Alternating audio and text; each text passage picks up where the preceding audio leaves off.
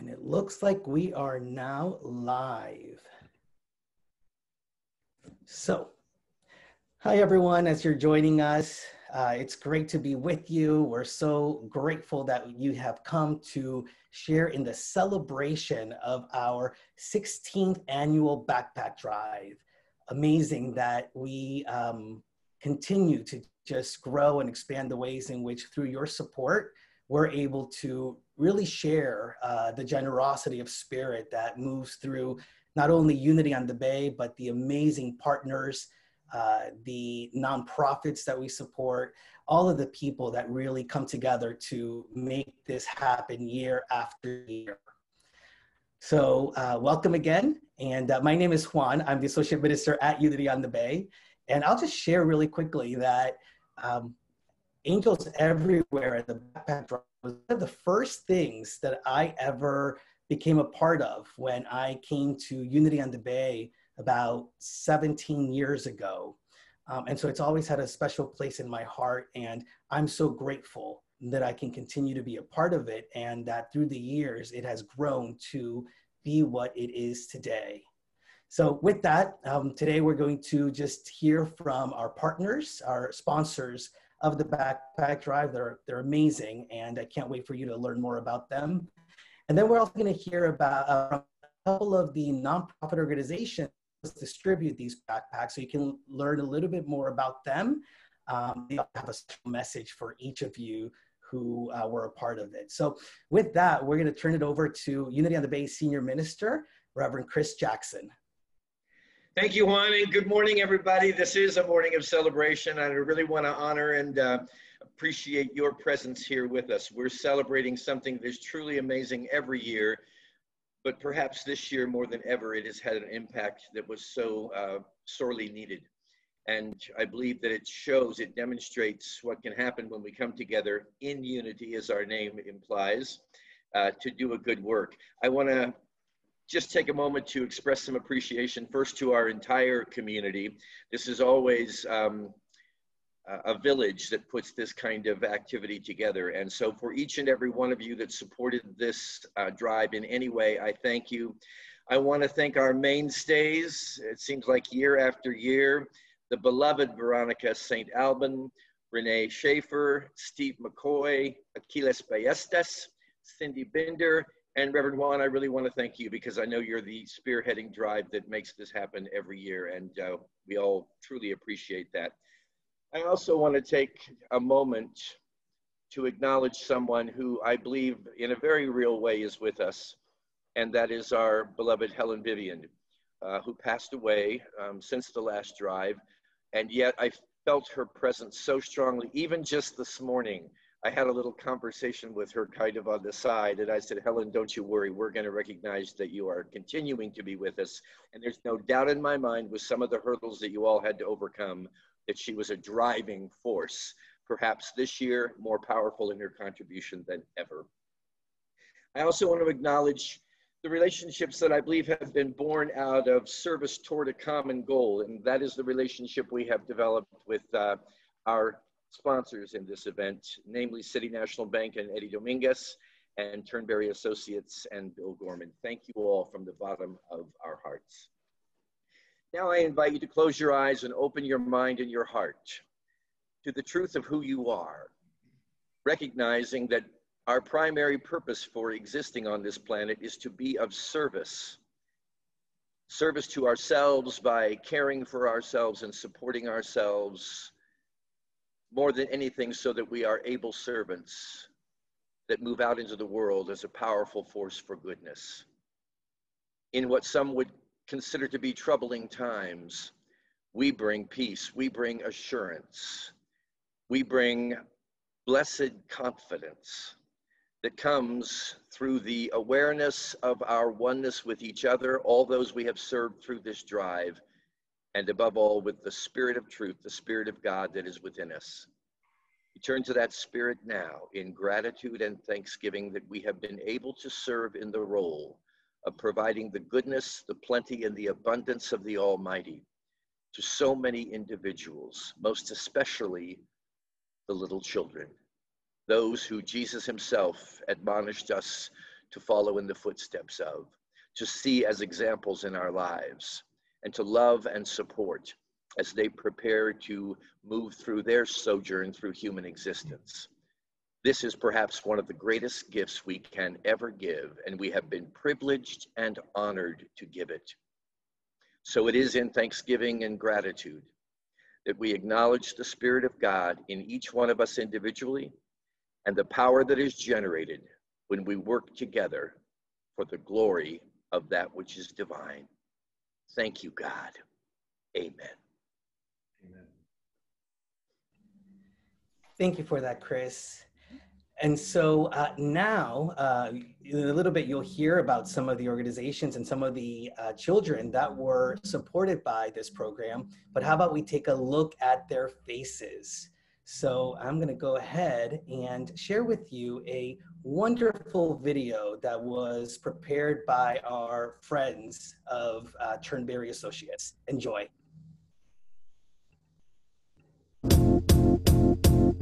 It might seem crazy what I'm about to say. Sunshine, she's here. You can take a break.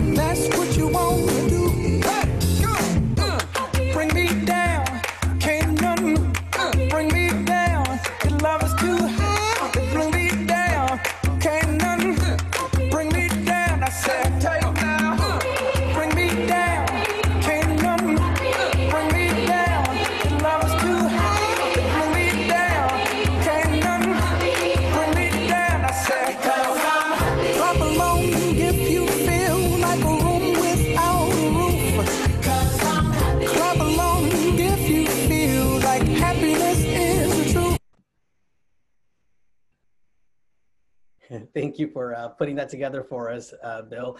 You know, and uh, as I, I saw that video again, it reminded me. I mean, Chris spoke a little bit about it, but um, I trust that you were able to see those smiling faces even through the masks, and um, that's just a sign of the things that we had to um, think about this year.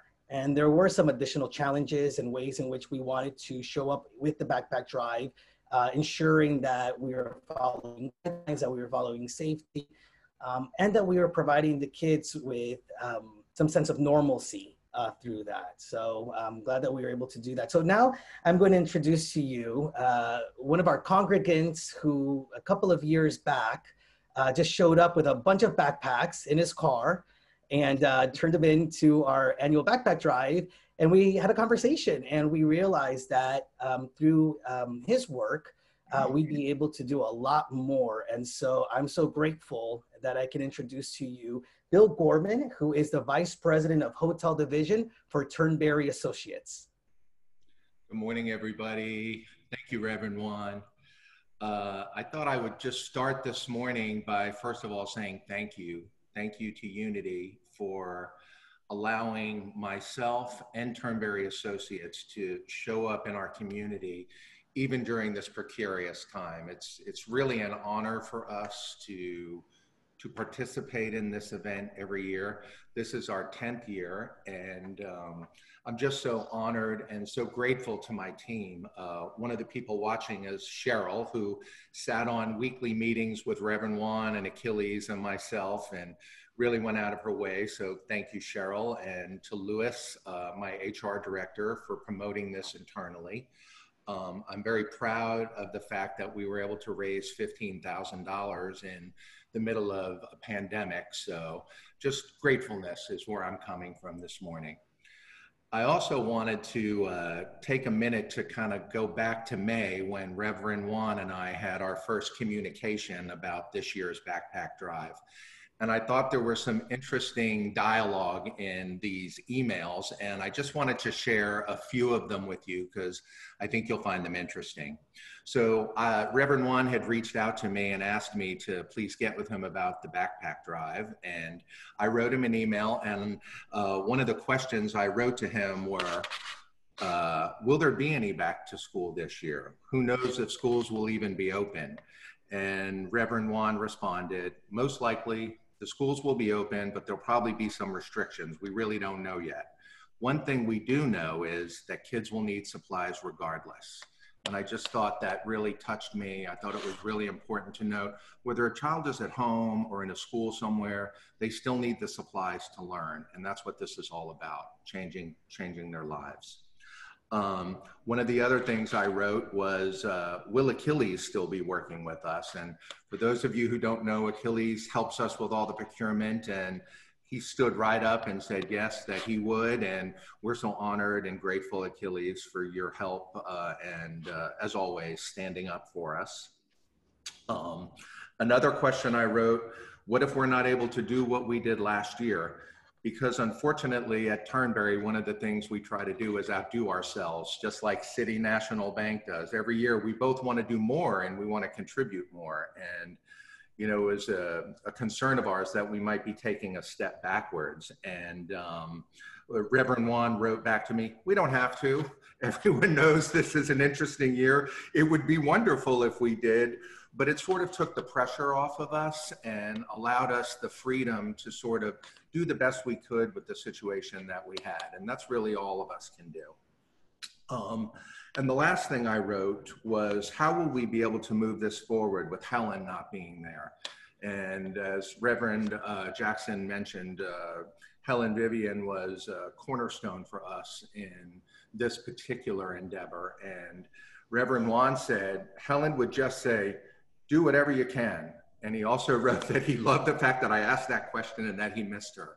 So, you know, I just want to say thank you, Helen, um, for, you know, laying the path for all of us to continue to grow and do this.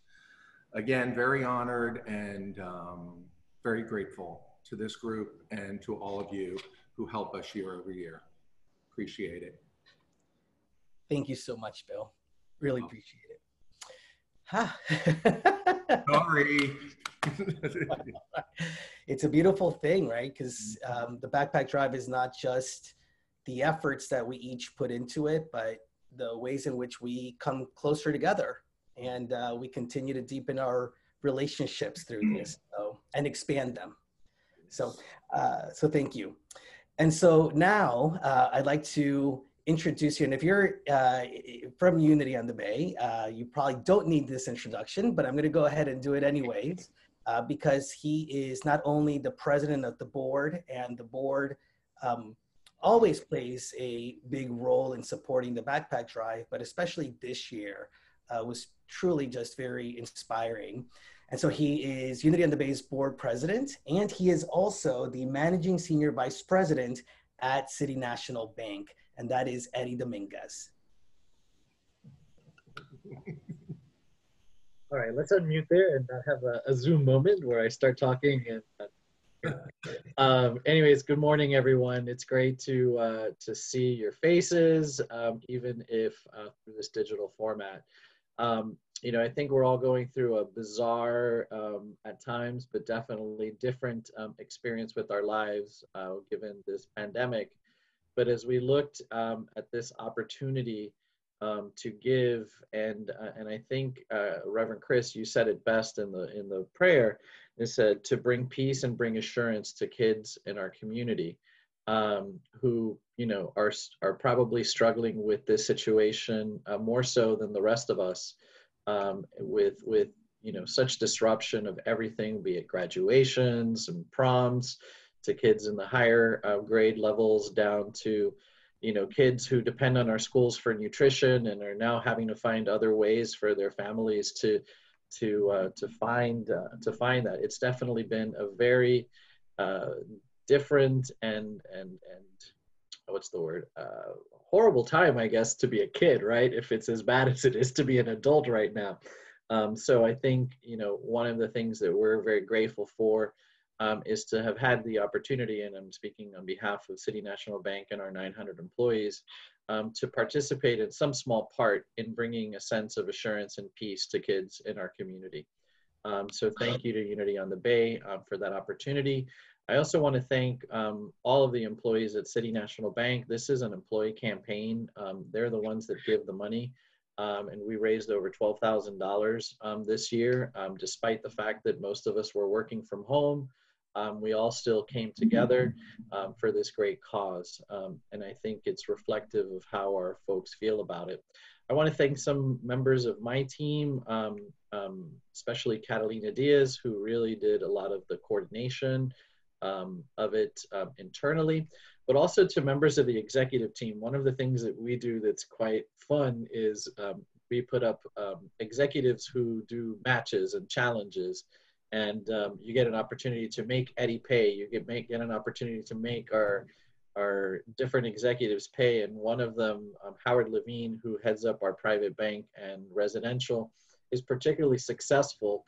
Um, I don't know why his employees really want to make him pay, but his challenge is always one of the most successful. So, um, so let's keep keep going with those challenges. And thank you to all of the executives who um, supported this and really helped drive this through the organization.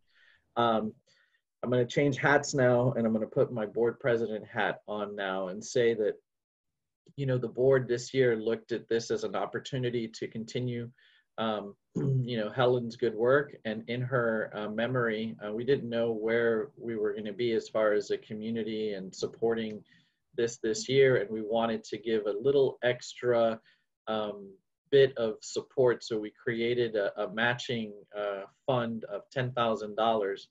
Um, for two reasons. Number one, we really wanted to ensure that this year's drive was successful and give that little extra kick to it but also I think it was in recognition um, of Helen and her contribution, not just to the backpack drive and angels everywhere, but to our spiritual community um, at Unity on the Bay. Um, I also want to take this opportunity to thank everyone who gave um, to Bill and Turnberry Associates for your constant support. I think we've both been, as corporate sponsors, um, been doing this about the same amount of time and, and I'm sure it's just as popular in your organization as it is um, in ours. Um, kids are a great cause and, and fortunately an easy cause to, uh, to raise money for. Um, I also want to thank all the volunteers um, with a special shout out to our board treasurer, Steve McCoy and Renee Schaefer, who I learned um, almost single-handedly loaded all of these uh, backpacks into a truck in an unair conditioned warehouse to help make this possible. Um, I see the hard work that Steve, for example, does all the time, and I really do want to take this moment um, to recognize both of them, but especially my brother on the board, Steve McCoy, um, for all of all that you did um, to help make this happen this year. Um, you know that video was amazing.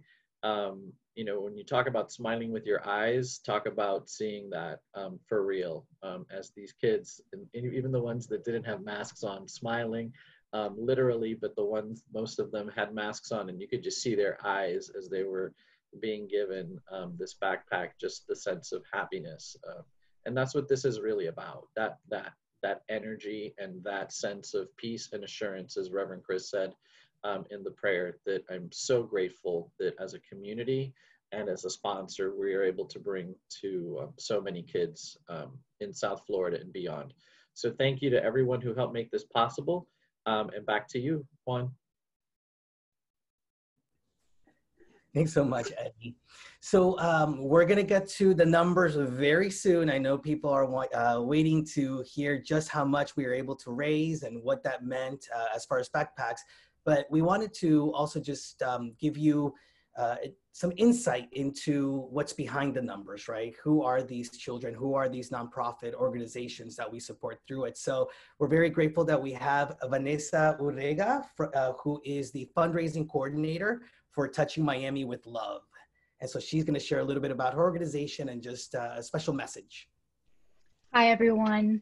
Thank you so much for having us on this panel. First of all, I want to say just thank you to everyone for all the hard work no AC in Miami and loading backpacks into a van, that is commitment right there. So I just want to say uh, just thank you to everyone. And I never had the honor, the opportunity of meeting this wonderful person, Helen, but I can just see that she has definitely made an impact. So um, I definitely feel her presence and her commitment as well. So thank you for, for sharing such heartfelt message. So TML is a nonprofit that we are located in Overtown and West Homestead. We are actually celebrating our 25th year anniversary this year. And that is such a huge milestone. Uh, we first started in Overtown and then we expanded over to West Homestead, which is amazing, but that also goes to show that there is a need in our in our in our communities. So we serve about 200 children and youth in Overtown, and we serve about 250, close to 300 in West Homestead. And we have, you know, the, the um, COVID 19 pandemic really uh, made us take a pivot during our you know our spring and summer programs but you know we're just very thankful to our supporters of course thankful that you know uh, god at the center of it all has managed to open up doors for us and new opportunities as well as our fall program starts, we're taking a new approach. So we are doing a TML on the go, and that is basically different locations close to close enough to our families where we're able to have our enrichment programs close to them. So some some families don't have vehicles or way of transportation, so we're able to set up stations close to their homes and have uh, you know non-contact sports, our academic support, and other uh, enrichment activities. And then we're also providing some in-person programming too for those families that have to go to work and don't have a place to leave their, their children. So we're more than, you know, what people might seem at, think that we are in after school care. We are um, all hands at a socially distant level, of course, all hands on deck. And uh, we're just here for our families, our children, our youth. And we thank you so much because like uh, someone said earlier, I believe it was Mr. Gorman or Mr. Reverend Chris, uh, that regardless whether children are doing school online, they still need supplies and they still need the pencils and they still need the support. And the, the just the truth is, is that our family needs us regardless of whether in person or, or or virtual. Uh, some of our families don't even know how to use a, a laptop, you know, so we're able to guide them through a phone call. Uh, we, we were able to bless our families with a hotspot during this summer. So we're thankful for, for our supporters for that. So we're just very thankful to be here and we're so grateful for the backpacks and the supplies. Thank you so much. Well, thank you, Vanessa. We really appreciate the partnership. And I don't even know if you're aware or the people that are watching are aware, but we have a long history with Touching Miami yes. with Love. We've been partners with them for many, many years. And actually, when I first came to Unity on the Bay in 2002 or three, uh, our executive director was a gentleman by the name of Larry Wynn, who mm-hmm. had previously been the executive director of Touching Miami with Love. And so uh, we have a long, long history, and they were um, some of the first uh, people that we uh, connected with through uh, an organization, an interfaith organization, uh, Faith in the City, that we were a part of. So thank you again, Vanessa, for all your work. Thank you. And now we want to introduce to you uh, somebody who also has a long history with Unity on the Bay personally, um, but also um, uh, the organizations themselves. Uh, we are blessed to have been one of the first partners of Chapman Partnership for the Homeless uh, when they created their downtown um, center. One of our volunteers from Unity on the Bay actually helped design the kitchen there to make it as um, easy for volunteers to be in service. And even during this pandemic, I'm really grateful that Unity on the Bay has not only continued to support um, Chapman Partnership through the backpacks, but also through their feeding program.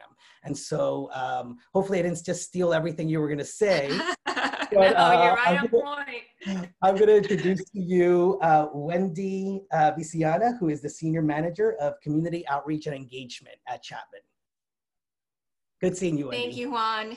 Yes, nice to see you, Reverend Chris, and everyone on the call. It's I'm glad I made it on. So yes, that's that's absolutely correct. And fun fact, the way I came to Chapman many many years ago was as a volunteer at Unity when we'd go serve, and you guys still come serve the meals once a month. So there's definitely a long history there.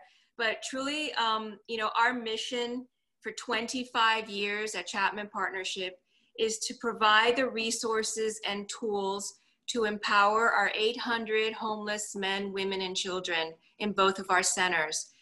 Um, we've been doing that for a long time, but it is impossible to do that work without the support of our community.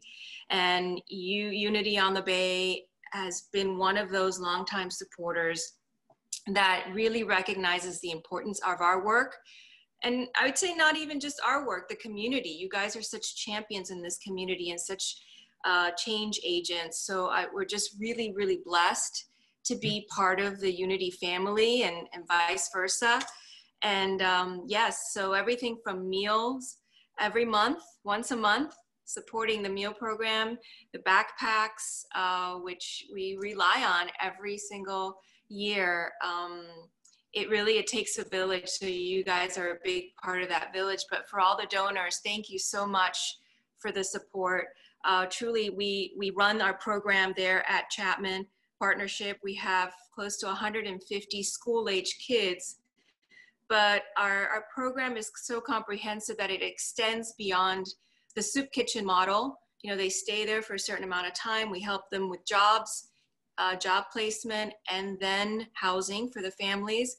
But we also care for the follow up families um, after they've left for up to a year. And before they even get there, if there's no space, we put them in an offsite facility. So what does that mean with partnerships like Unity and the backpacks is not only are those supplies coming into our center and the kids that are at our center, but they're also being sent to those offsite those folks waiting to come in and the kids that have moved on that are still under our care. So the reach is, is quite extensive. Um, and uh, it, it's just a, a, wonderful partnership and we couldn't do it without you. So thank you everyone who supports backpacks. We work with Renee and she's she's a hoot and she just I love getting her call every every year and picking that up and and it's it's just a joy. So thank you.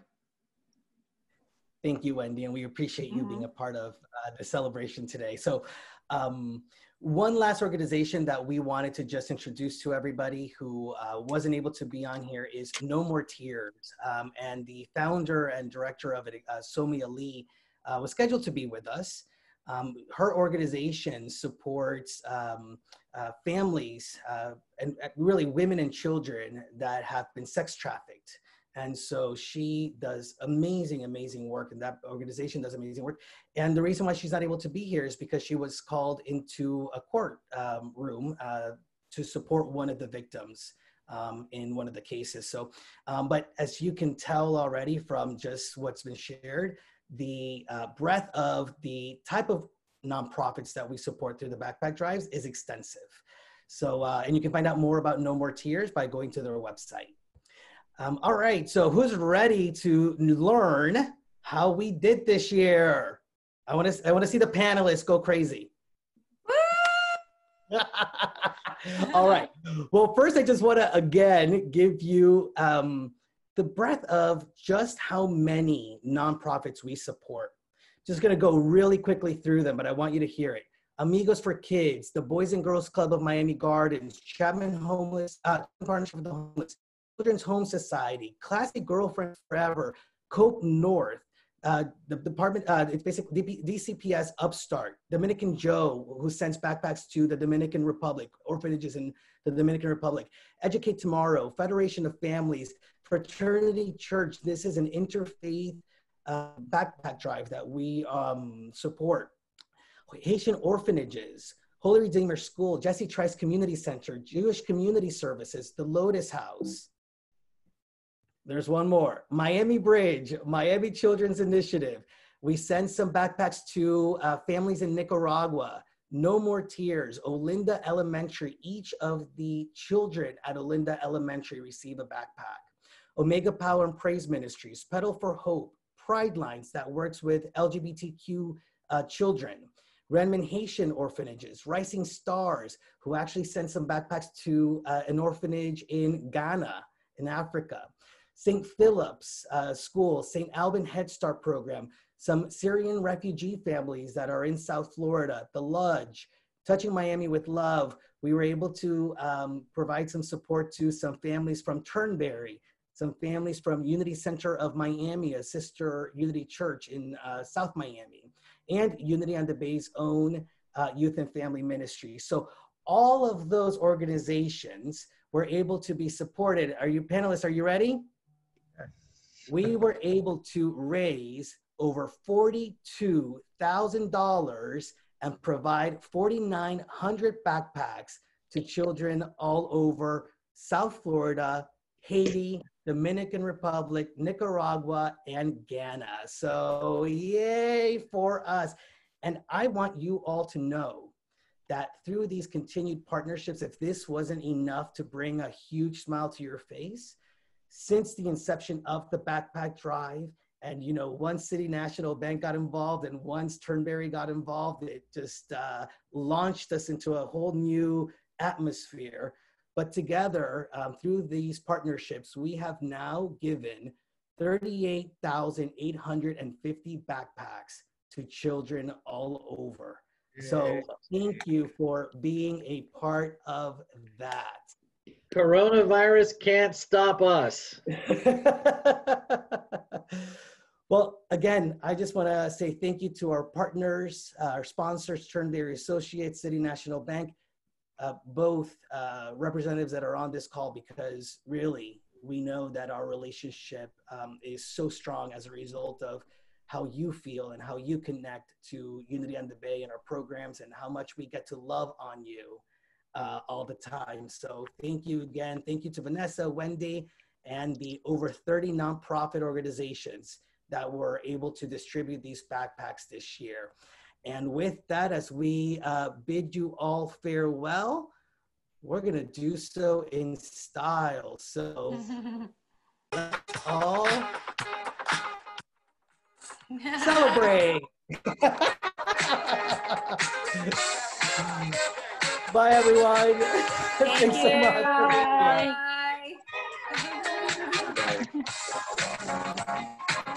I think everyone's going to wait to see you dance, Chris.